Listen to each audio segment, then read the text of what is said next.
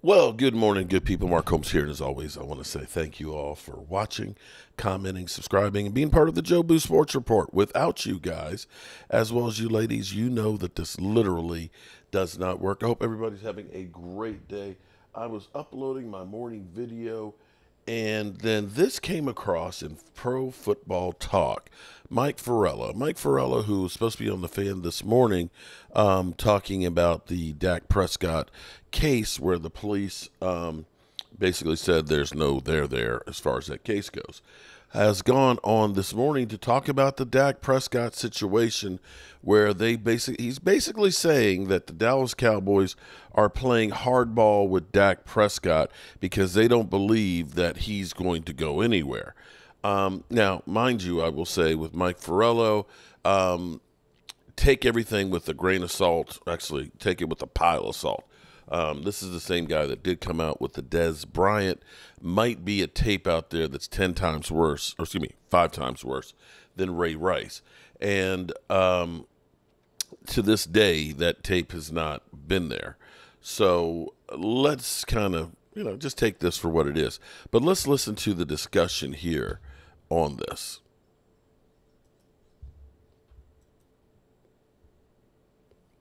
Shall we?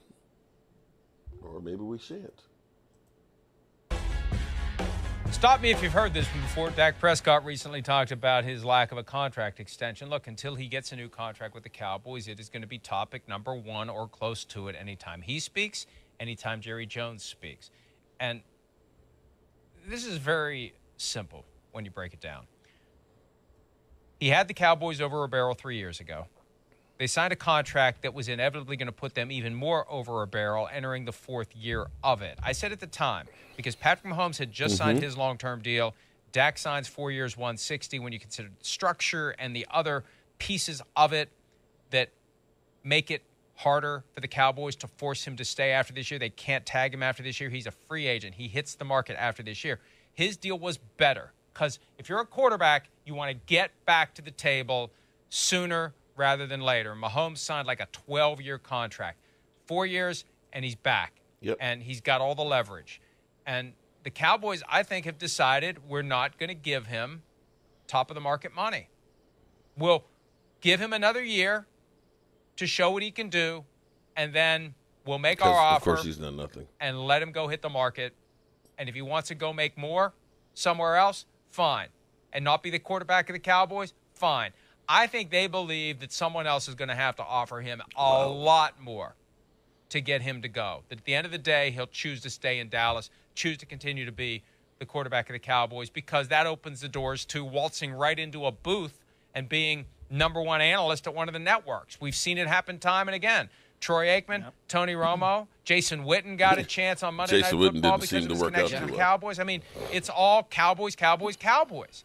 And I, I think that they're they're going to dare him to walk away from that after this season, and that, that's why I think they don't even need to talk about it anymore. We know what it is. They're not going to do a new contract. They're going to wait until after the season. He's going to get close to the open market, you know, get into that negotiating window, and we're going to find out what else is out there. And he's going to find out what else is out there or what else is not out there and uh, the Cowboys think he'll come back. And if not, they'll go find a new quarterback. Yeah, easier well, said than they're done. They're going to have to find a new coach, too, presumably, right? If things don't go well this year for Mike McCarthy in the last year of his contract. So that's going to be another factor in all of this. Who is the head coach next year? Is that head coach offensive slash quarterback friendly, right? Are they going to be able to call the plays and all this different kinds of stuff? What is this thing going to look like? What is this season going to look like mm-hmm. for Dak Prescott, who had a really good year last year with Mike McCarthy calling the plays until they got to the postseason and absolutely peed down their leg, both legs, really. I mean, it was just urine everywhere on the wow. Cowboys field, basically. Okay. So,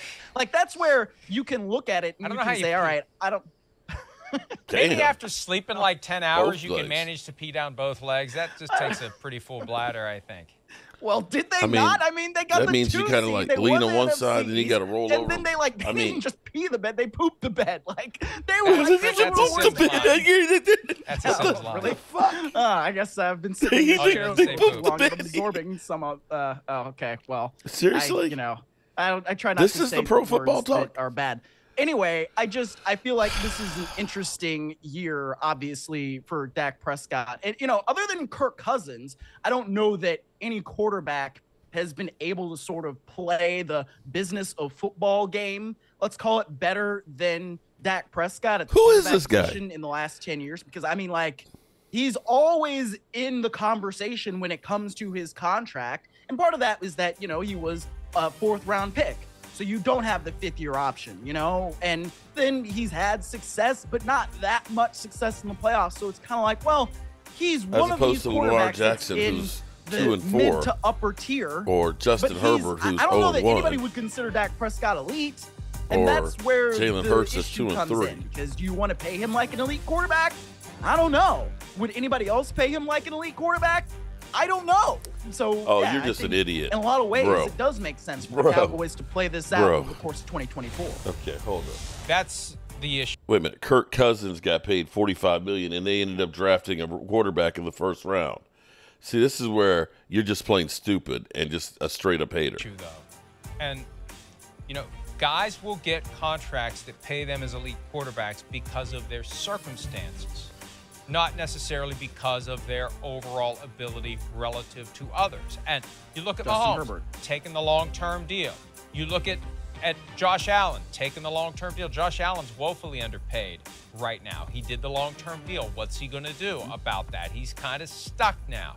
Dak Prescott, because the Cowboys dragged their feet after his third season, when he was entering his contract year because he wasn't a first round pick, they didn't pay him then. And then they didn't pay him the next year. They did the one year of the franchise tag. And even though he broke his ankle in very ugly and graphic fashion, he was healed, he was healthy, and in lieu of tagging him again, although they did have to burn the second tag, which makes it even harder and more impossible for them to tag him next year, that's when they did this long term deal, which was only four years, 160. That was the key to get them to agree. But they knew they were stuck because they were looking at the following year a 44% increase over his franchise tag for his second year of the tag, which was a 20% bump over the first year. The numbers get astronomical quickly.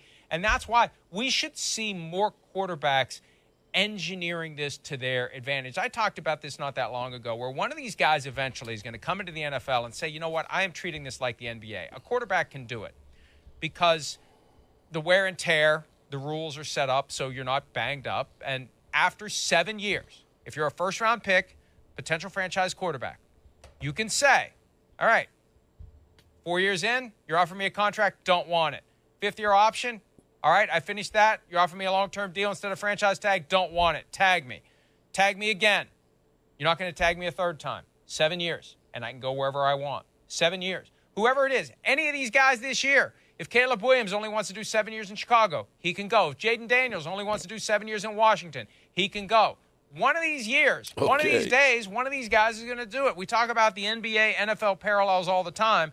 That's a way for a quarterback who would still be in his early prime, 28 years old. I'm gone. I go wherever I want. Mahomes could have done it. Mahomes would have been there right now, seven years in. Is he seven years in? 17, 18, 19, 20, 1, 2. He's eight years in. He could have done it a year ago. But one of these guys is going to do it.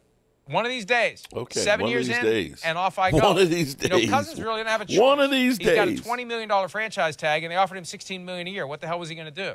Take the long-term offer? No. Prescott's kind of engineer it. And think about next year. You got him. We talked about this earlier in the week. Tua, mm-hmm. Jared Goff, all three potentially walk into the market. And what's somebody else going to pay him? Is anybody going to roll out the green carpet for any of those three guys and grossly overpay them? Especially based upon how this Kirk Cousins experiment goes. I'm not 100% sure. I'm not even close to 100% sure. All right, so here we go. Um, I'm just, you know, this is the thing I, I, I'll say. In the course of him getting his deal, him getting his deal, in the time that he's played quarterback thus far, he's had 96 TD passes, 34 interceptions, and averages about a 103 quarterback rating. And during that time, you got rid of Cedrick Wilson, Amari Cooper, Zeke Elliott, and the offensive line has been an upheaval. I'm not sure how much more we're looking uh, that, that that we're going to get. I mean, I know it's the playoff success, but you got to get everybody on board too. They can't just be just Dak. But then again, you know, I'm just accused of being a Dak Prescott fanboy and, you know, that's my son and this, that, and the other and all that. But I'm telling you, people, that if you think that you're going to get a guy who's going to come in and throw 23, 24 TDs and, you know, 16, 17 interceptions and that we're going to win the Super Bowl, I don't see it. I don't see it. I, I, see we brought in Trey Lance, but they don't believe enough in to say, you know, we're going to let Dak walk and put the fifth year option on him. It's not easy getting quarterbacks. But then again, what do I know? I'm a guy with a day job and a voodoo